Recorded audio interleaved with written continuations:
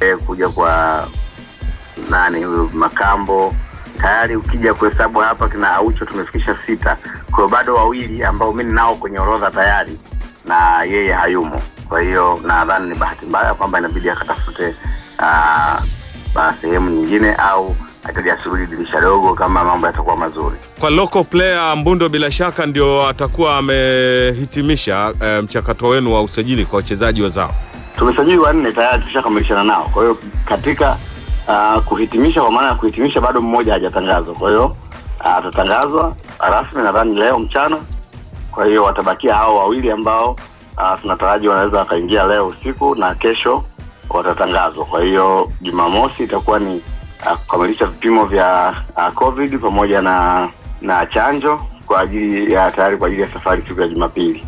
Na timu yenyewe inaanza kujikusanya lini kwa ajili ya kujiweka sawa uh, kwa safari hiyo? Kesho tarehe kumi na tatu ndo timu wa wachezaji wanaanza kuwasili, lakini tayari nimeshakuwa nawasiliana na meneja, nawasiliana na wachezaji, lakini pia na mimi nawasiliana na wachezaji, tunakutana nao tayari. Uh, uh, Ditra Mkimbi amekwisha wasili uh, tayari kina Kibwana wako wako njiani uh, sababu wako karibu tu hapa. Uh, Mauya ameingia um, um, um, Dar es Salaam anaambia kwa hiyo uh, wameshaanza kuja kwa ajili ya kesho kuripoti na kwenda kufanya uh, vipimo vya, vya, vya COVID kama ambavyo tumepanga kwamba kwa timu nzima tarehe kumi na tatu watakwenda kwa ajili ya vipimo pale mwimbili wale ambao wameshafika. Kwa hiyo uh, wale ambao walikuwa mbali mpaka na Chimba ushaingia Dar es Salaam, na jana tulikuwa nao pale kwenye uzinduzi wa, wa duka la mchezaji wetu Ramadhani Kabwili uh, Kabwili Sports Wear pale Tabata. Kwa hiyo tunashukuru kwamba wameanza kuitikia mwito kwa, kwa haraka zaidi. Yeah, sisi uh, tuna tuna tunaendelea kukamilisha zoezi la usajili kama ambavyo nimesema. Uh, zoezi la usajili lina, lina maeneo mawili. Eneo la kwanza ni hilo la uh, watu wanalijua la kutambulisha wachezaji wanatambulishwa, lakini eneo la pili ni la kuhakikisha kwamba zile dokumenti na vitu vingine vinawekwa kwenye system na uh, inakuwa full register, registered kwenye kwenye mtandao, kwa maana kwamba uh, sasa mamlaka zinawaidhinisha wale, zinawahamisha kutoka timu waliokuwa kuja uh, kwenye timu yetu ya Yanga. Kwa hiyo uh, zoezi hilo linaendelea nao, nao liko kama asilimia themanini. Tumebakiza kama wachezaji wawili au watatu kwa ajili ya kuingiza kwenye kwenye system. Uh, na zoezi hili maana hiyo uh, likishakamilika ndo tunakuwa tumekamilisha usajili kwa asilimia mia moja.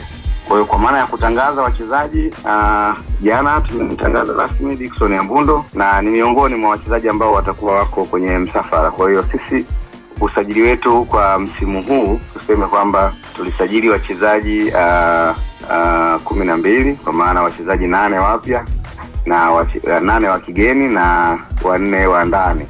Kwa hiyo hawa tayari kila kitu kimekamilika.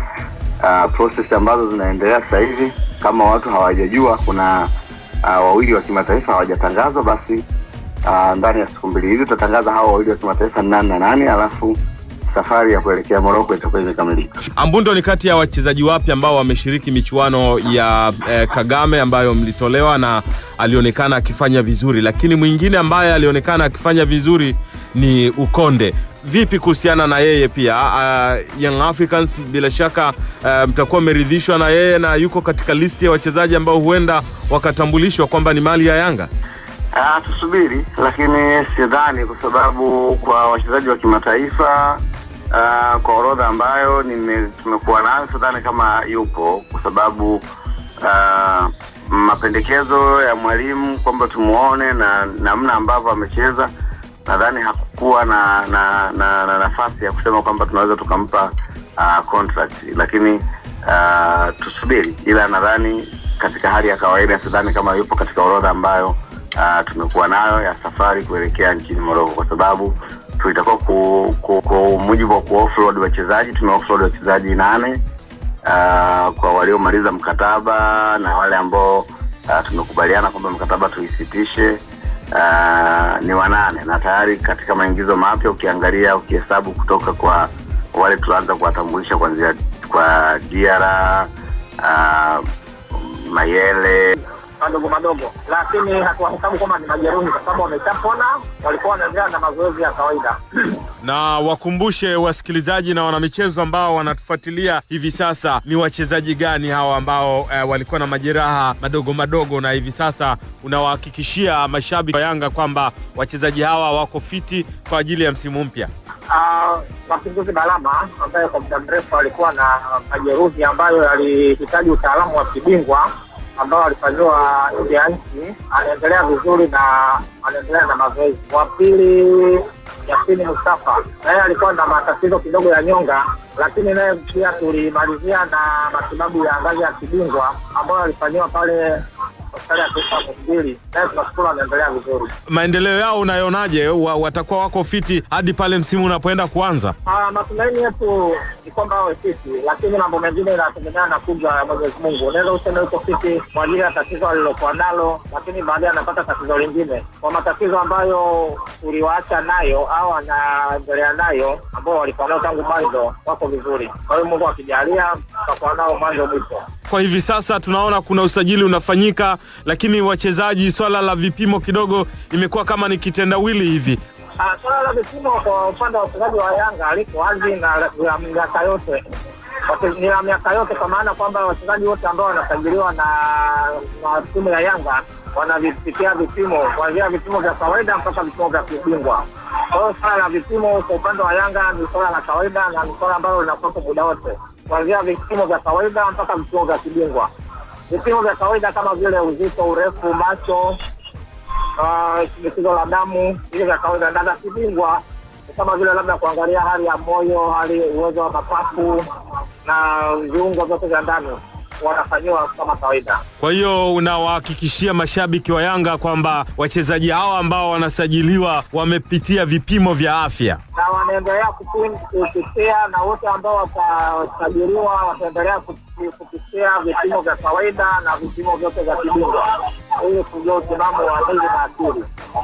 Na wote ambao wametambulishwa wamesha faulu vipimo vya afya.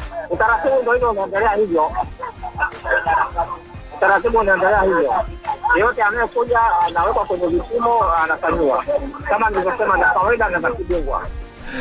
Bwana, sawa sawa, umeshapata kusikia kutoka kwa daktari mwenyewe akizungumzia afya za wachezaji pamoja na hali ya majeruhi. Bwana Mapinduzi Balama anaendelea kuwa uh, katika ile orodha ya wachezaji wa Yanga ambao wamekuwa katika muda mrefu sana kwenye majeruhi, na ni mchezaji mwenye kipaji kikubwa kwa kweli. Natamani siku moja, sijui hapo apone kabisa uh, au wakati mwingine apate matibabu yale ambayo yataweza kumfanya kuendelea kuitumia miguu yake vizuri na mwisho wa siku kuweza kujinufaisha yeye pamoja na familia yake. Hilo ndo la msingi katika Yeah, soka, yes. Ndio unachomwombea mchezaji right? Yeah. Uh, bwana, shukrani sana kwa Tigo pamoja na Infinix eh? Yes. Kuna makato bwana Eh, fresh eh, yani. usiogope makato kwenye kulipa luku